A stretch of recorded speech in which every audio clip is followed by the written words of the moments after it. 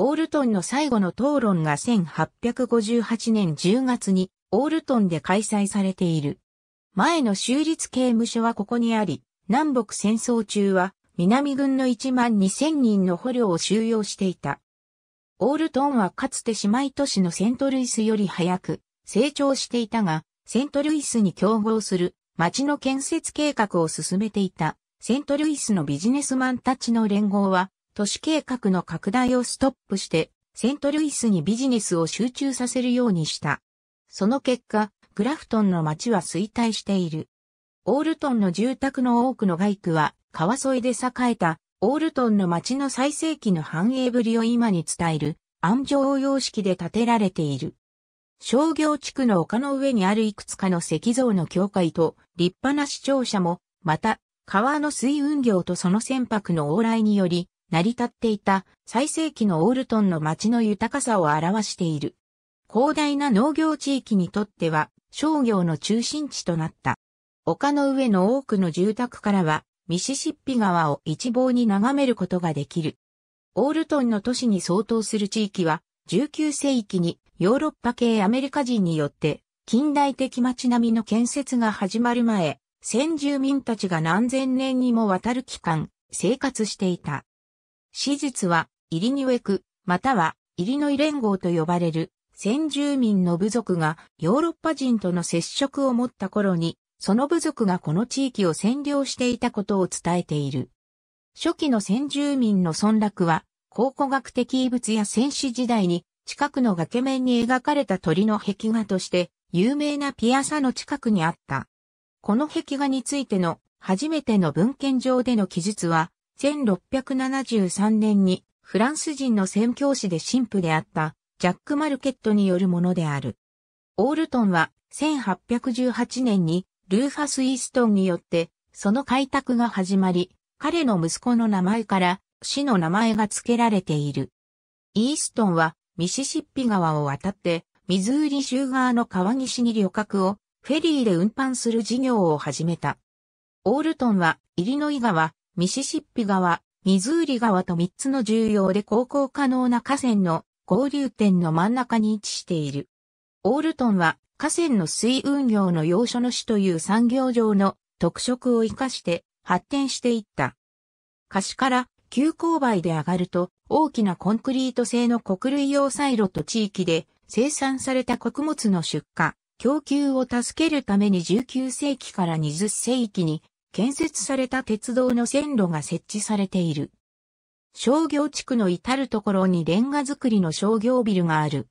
かつて創業していたいくつかのレンガ工場の跡が点在し、オールトンはまだレンガで舗装された通りが著しく多い。歴史ある商業地区のようなオールトンの低い地域が浸水して洪水の被害が集中している。別の日の洪水の水位は、カシのアーガシーカジノの近くにあるアーデント、ミルズの一部となっている大きな穀物のサイロまで水で使った。その1993年の洪水は過去100年で最悪なものであった。イリノイ州は自由州であったので奴隷制を認める奴隷州であったミズーリ州から渡ってくる奴隷制廃止主義者にとってオールトンは重要な町となった。町に住む奴隷制主義者のプロ活動家とスレイブキャッチャーによってしばしば町は襲撃されている。逃亡奴隷たちはミシシッピ川を渡ってオールトンに逃げ込み、秘密結社の地下鉄組織の停車駅を経由していって、より安全な場所へ移っていった。南北戦争前の数年間、北部への奴隷の逃亡を援助する地下鉄組織の停車駅に通じるトンネルや隠れ場所を備えた家が存在した。1837年11月7日、活版屋で奴隷制廃止主義者の長老派教会教役者、イライジャ・パリッシュ・ラブジョイ氏が、オールトンを基盤としている、印刷所の3度目となる破壊から守ろうとして、プロの奴隷制主義者の暴徒に殺された。ラブジョイは、セントルイスで受けていた妨害から逃れるために、オールトンに移住してきた。彼は、多くの奴隷制廃止主義の小冊子を印刷し、地域中に配布した。暴徒の一人が古い倉庫に侵入して放火しようとしたとき、ラブジョイは一丁の拳銃だけで武装し、外に出て暴徒を阻止しようとした。プロの奴隷制主義者の男は、ラブジョイを散弾銃で射殺した。暴徒は倉庫で暴れ回り、ラブジョイの印刷機をミシシッピ川に放り込んだ。ラブジョイは奴隷制廃止運動の最初の殉教者となった。歴史あるオールトンの家オールトンは1857年にカトリック教会の教区の司教座が置かれた。最初の司教はフランス出身のヘンリー・ダミアン・ジャンカーであった。新しい教区には58の教会と18人の司祭と5万人の信徒がいた。11年後にジャンカーが亡くなった時、教会の数は125に増え、司祭は100人以上に、信徒は8万人に達した。後を継いだのはドイツから来たピーター・ジョセフ・バルテスとジェームズ・ライアンであった。1923年、スプリングフィールドに司教座が移された。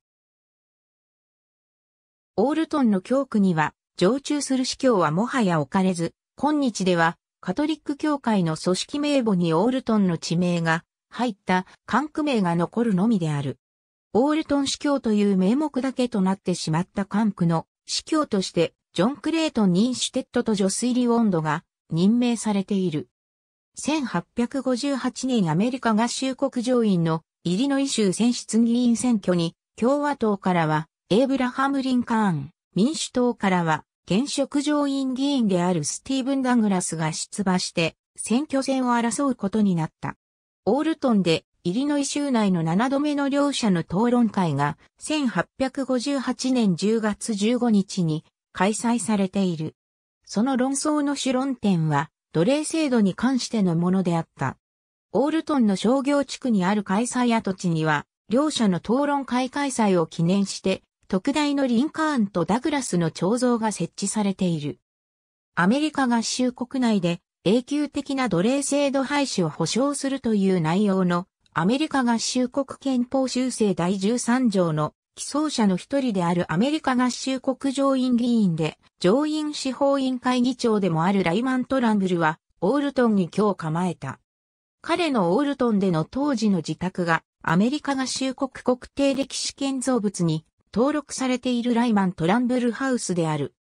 南北戦争が1861年4月12日に開戦しておよそ1ヶ月後の5月10日に発生した悪名高いキャンプジャクソン事件についてオールトンは重要な役割を果たしている。ミズーリ州は武装中立の立場をとっていたが、セントルイスの武器庫をめぐる争いで、その中立の原則は試練を受けることになった。連邦政府は武器庫を守備する少数の守備隊に分権隊、とりわけ、ナサニエル・ライアン隊位の下の2番目の不評連隊から数部隊派遣して増強した。広く行き渡っている話によると、ジャクソン知事はミズーリ州の民兵に武器庫の襲撃を意図していたと言われる。アメリカ合衆国陸軍長官、サイモン・キャメロンはライアンに弾薬の大部分をイリノイ州に引き上げることを命令した。1961年4月29日の夕方、2万戦の重機も極秘に、イリノイ州のオールトンに運ばれた。最初の州立刑務所は、オールトンに建てられた。その敷地は当初は、川の数区画以内で十分であったが、その後、教会の丘の近くまで拡張した。南北戦争中、連邦軍は、南軍の捕虜や1万2000人のアメリカ連合国の関係者のいくらかをそこに収容した。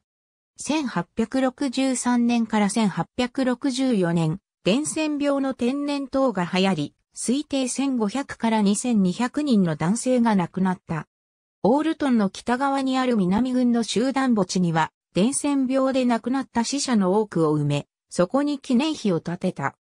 しばしば南軍の囚人たちが逃亡しているが、囚人たちは奴隷州であるミズーリ州に戻ろうとミシシッピ川を渡ることを試みた。ギネスブックに8フィート11.1インチの身長を持つ世界一背の高い男性として記載されたロバート・ワドローはアッパーオールトンとして知られている場所のオークウッド墓地に埋められている。彼の墓の敷地は一般の墓の倍の面積を要した。彼の墓の棺の上にかぶせられた土にさらに周りの地面より一段高く盛り土を施して、墓前からでもその棺のアウトラインの輪郭が視認できるようになっているため、墓地を訪れる者はその棺の大きさを目で実感することが可能である。彼の記念物として、南イリノイ大学の私学部を横切る大学通りに等身大のブロンズ像と彼の椅子のレプリカが置かれている。聖ジョージ殉教者の聖フランシス修道女会は、アメリカ管区のマザーハウスというカトリック教会の宗教を研究施設をオールトンに置いている。1937年にオールトンの二人の漁師がミシシッピ川で大目白ザメを捕らえている。晩夏の頃、木と網でできた罠に何かがかかっていることに気づいた。おそらく魚がかかっているのだろうと考え、強いワイヤー製の罠を鳥の内臓を餌につけて仕掛けた。翌朝、体長5フィート、重さ84ポンドのサメを捕らえ、数日間、見物客のためにカルフーンウオ市場で展示された。1954年、アメリカ空軍士官学校の3カ所の最終選考候補地の一つに入った。最終的には、コロラド州のコロラドスプリングスが選定され、オールトンは招致できなかった。1993年にオールトンに甚大な被害をもたらした洪水の様子オールトンは、ミシシッピ川からの水害を受けやすい立地条件を持っているため、1993年のアメリカ中西部大洪水での高い水位は市に深刻な被害を与えた。洪水によりオールトンの水道の供給を止められ、町の住人は3週間以上、容器に入った水による水の供給を受けなければならなかった。セントルイスのアンハイザー物資を含む多くの地域産業がオールトンの人々を援助する資金を寄付した。オールトンとミズーリ州のウェストオールトンをつなぐ旧クラーク橋は2車線の橋で運転者にとって危険で緊急車両の通行の妨げとなっていた。セントルイス大都市圏で最北端にある旧クラーク橋は1990年代に取り壊された。今のクラーク橋は中央分離帯がある片側に車線の橋で、さらに2車線の専用自転車通行レーンも備えており、1994年に開通した。1993年のアメリカ中西部大洪水の時は、建設作業は困難を極めた。賞を受賞したそのシャバリ橋デザインは、スプリングフィールドの企業のハンソンプロフェッショナルサービスズの技術者たちによって設計された。橋で使われているものと同一のケーブルを街中の子供たちに教育用資材として配布して家にケーブルを持って帰らせることをさせた。川の激しい流れと橋家の往来と1993年のアメリカ中西部大洪水に対処しなければならないという難工事を伴う橋の建設の複雑作業はドキュメンタリー番組のノバでスーパーブリッジと称えられるものであった。オールトンは北緯38度54分2秒整形90度9分35秒、北緯38.90056度整形90.15972度、38.90056-90.15972に位置している。ミズーリ川の河口がミシシッピ川に注ぎ込む合流点にオールトンはある。オールトンのほとんどは川の渓谷を見下ろす断崖に位置している。ミーティング・オブ・ザ・グレート・リバーズ・シーニック・ルートというオールトンの河岸に沿う道路がある。合流地点の記念碑と展望タワーとして、イリノイ州ハートフォード村の近くにあるミズーリ川とミシシッピ川の合流点の隣にある合流タワーが二つの大河を見渡す景観を提供するために建設された。この地点は有名なルイス・クラーク探検隊の出発点として記録されている場所でもある。ミシシッピ川のメイン水路にある最新で、かつ最も稼働率が多いコーモントダムの複合構造物がロックダムナンバー26である。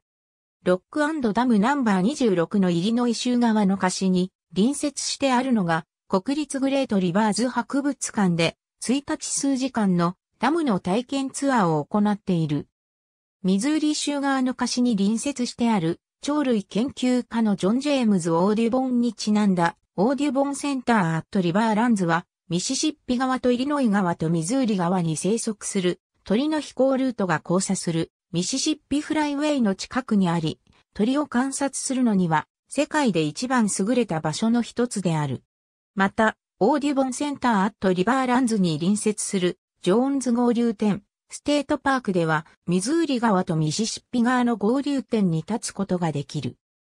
2010年に行われたアメリカ合衆国国勢調査によれば、オールトンの総面積は16.736平方マイルとなっており、そのうちの15.47平方マイルが陸地面積で総面積の92.44%、1.266平方マイルが水上面積で総面積の7.56%を占めている。国立グレートリバーズ博物館は新しいロックダムナンバー26にあるロックダムはツアーを開催している。その場所はダムより下流の川から遡上してきた魚を餌にする白桃ワシを見るお気に入りスポットとなっている。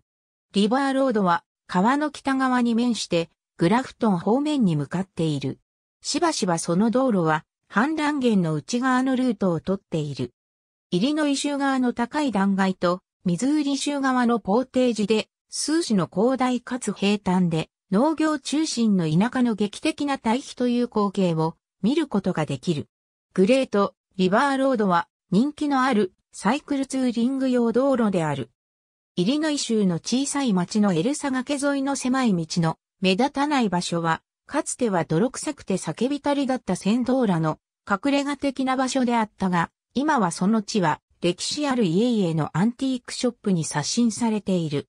1925年のオールトン駅の様子19世紀末から20世紀にかけてオールトンは重工業と製造業の街となった。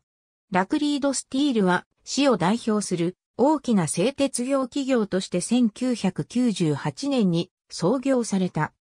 ラクリードスティールは2001年に破産して2003年にオールトンスティールの社名で再出発を図っている。20世紀半ばの産業の構造改革はオールトンに新しい変革の道を強いることになった。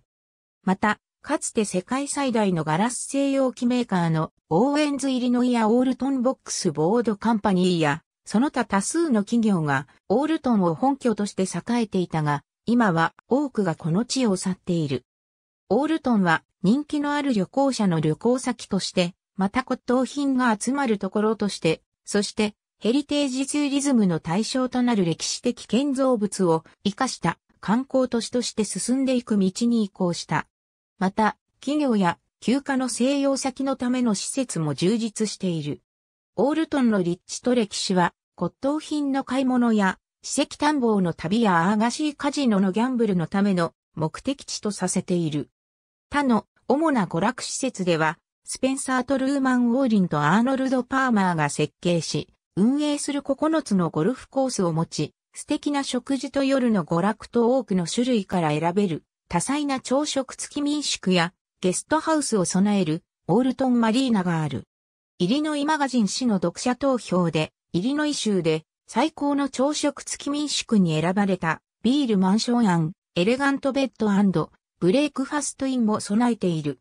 中西部での結婚式の首都として、オールトンの街自体を広告し、オールトンは結婚式と披露宴及び新婚旅行で人気の場所となった。多くの観光客は、オールトンの自然の美しさを探求しに訪れる。割合平坦な勾配で、木陰のところを選んで通行すれば家族連れが乗っても簡単に走れる専用の自転車道路は街の北のミシシッピ川沿いや石灰岩の絶壁の下に何マイルにもわたって伸びている。渡り鳥の移動のシーズンの間、オールトンはミシシッピフライウェイの飛行ルートを移動する渡り鳥を見に来るバードウォッチャーたちが集まる。冬に来訪するバードウォッチャーたちは、イリノイの石灰岩の崖をねぐらとして、川の魚を餌にするたくさんの白桃ワシの様子を見に来る。そこはミーティング・オブ・ザ・グレート・リバーズ・ナショナル・シーニック・バイウェイという道路が通る場所である。そこから北に数マイル行くと WP 時代に建てられた登山客や馬乗りや刺激場のための何マイルにもわたる山道を含むロッジと娯楽施設を備えたペールマルケットステートパークがある。2000年の国勢調査によれば、人口が3496人で12518世帯、7648家族がオールトンに居住している。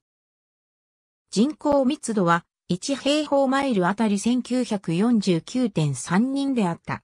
13,894個の住宅の平均密度は1平方マイルあたり888.1個であった。市の人種構成は白人が72.32%、アフリカ系アメリカ人が24.72%、先住民が0.18%、アジア系住民が0.38%、太平洋諸島系住民が0.01%、その他の地域出身者が0.68%、根血が1.71%となる。ヒスパニック、またはラティーノ系住民は人口の1.49%を占めている。12,518世帯の29.3%は同居する18歳未満の子供がおり、39.3%は夫婦で一緒に住んでいて、17.4%は夫がおらず女性が世帯主の世帯であり、38.9%は非家族世帯で、33.3%は単身世帯で、13.8%は65歳以上の老人一人暮らしの構成となっている。平均世帯構成人数は2.36人で、平均家族構成人数は3.02人となっている。年齢別人口構成を見ると、18歳未満が25.8%、18から24歳が9.1%、25から44歳が29.1%、45から64歳が20.0%、65歳以上が16.0%となる。年齢の中央値は35歳である。性比は総人口から見ると88.4となり、18歳以上の人口から見ると83.1となる。収入の中央値を見ると、世帯では31,213米ドルで、家族では37,910米ドルとなり、性別で見ると、男性は3万3083米ドルで、女性は2万2485米ドルとなる。人口1人当たり収入は1万6817米ドルで、貧困線以下の割合は、対人口では約18.7%で、対家族数では約14.7%となり、18歳未満は26.8%で、65歳以上は13.2%となった。オールトンには地元の芸術や美術教育をサポートする非営利団体で、イリノイ州芸術評議会からも一部資金援助を受けるジャコビー芸術センター、ジャコビーアーツセンター、略称 JAC、救命、マディソン郡芸術文化振興会がある。JAC はヘンリー通りとリッチ通りの間のブロードウェイ沿いにある築100年近い建物の中にある。所轄する地域はイリノイ州の中南部17の郡である。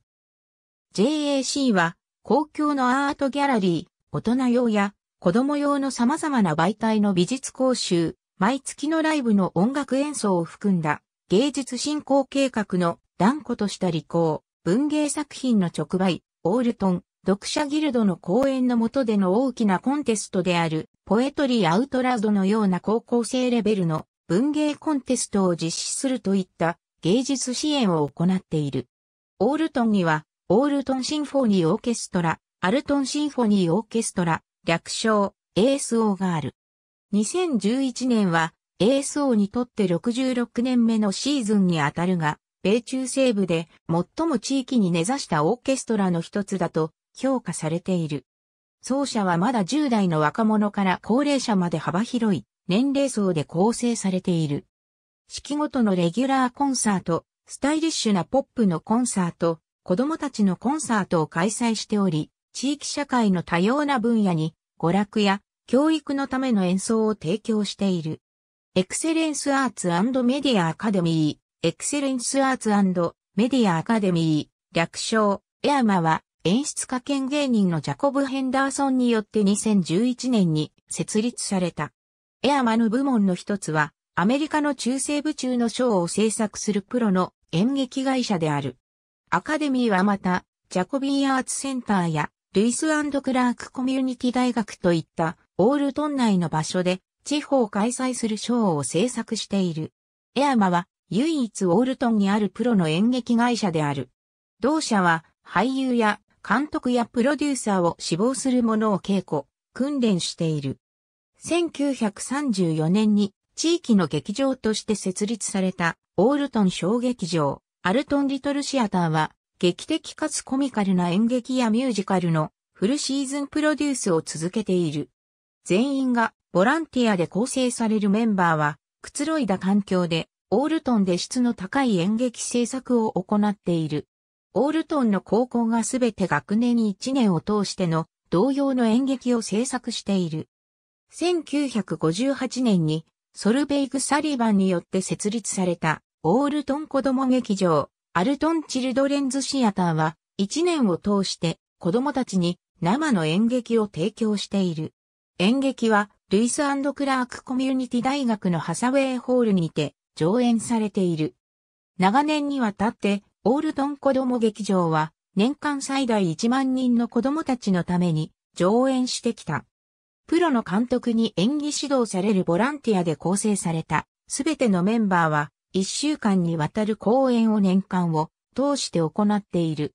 オールトンにある日刊新聞のテレグラフ、ザ・テレグラフ紙は、旧名はオールトン・イブニング・テレグラフ、アルトン・イブニング・テレグラフであった。テレグラフ氏は地域のニュースだけでなく、スポーツや関連する国内ニュースを報道している。無料のアドバンテージニュース、アドバンタジニュースは、オンラインでは日刊で配信し、紙の媒体では、週刊で発刊される新聞で、地域に特化した非常にローカルなニュースを取り上げることに焦点を当てている。アドバンテージニュースは全住民に配布されているオールトン地区の地元資本の新聞である。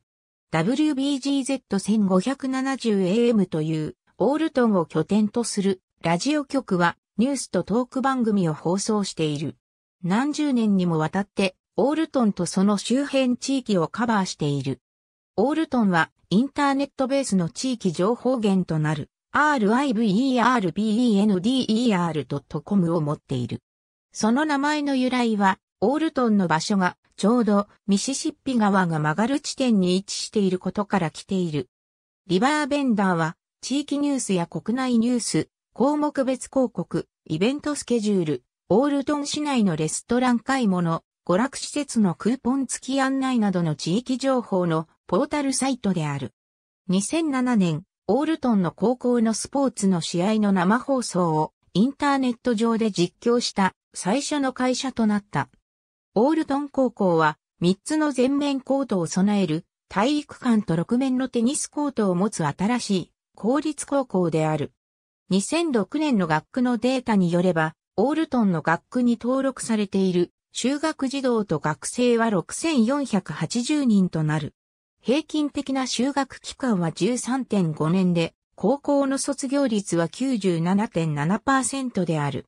小学校の生徒、教師比率は18.9で、中学校の生徒、教師比率は22.3となる。オールトン高校は、数学チームと音楽の演奏で受賞歴がある。オールトン高校は、優等生育成プログラムを持っている。オールトン中学校は古いオールトン高校の校舎のあった場所にある。オールトン中学校は6から8学年を受け持つ。中学校は3つの校舎、本校舎と別校舎とオーリンビルディングから構成される。本校舎が最も古い。その建築様式はロマネスクリバイバル建築である。オールトン中学校はイリノイ州最大の中学校でおよそ1500名の学生が在籍する。学校制度は1年生から8年生まで優等生、育成プログラムを持つ。このプログラムは単に特別なプロジェクトというだけでなく、プログラムに参加する学生に広い知識を得る機会を与えるものとなっている。フランス人の探検家で神父でもあるジャック・マルケットから名付けられたマルケットカトリック高校は、オールトン高校と同様の学区を持つ。そのスポーツチームは、エクスプローラーズと呼ばれる。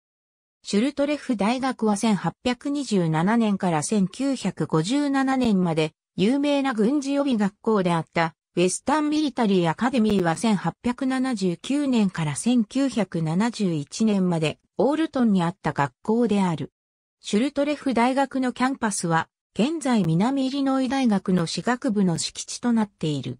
ありがとうございます。